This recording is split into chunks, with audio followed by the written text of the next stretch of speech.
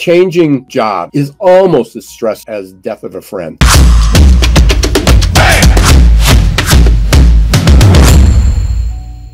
Job change is is hard many of you have maybe been through that you didn't like your boss you didn't like the job you didn't like the commute you didn't like the company but you stuck with it because what's remarkable here and this is from the holmes and Rahe stress scale changing job is almost as stressful as death of a friend slightly less than pregnancy a little less than retirement and marriage. And, and these are, are, are pretty life changing events. Uh, basically, when a child leaves home and goes to school or gets married or moves away, changing a job is more stressful than that.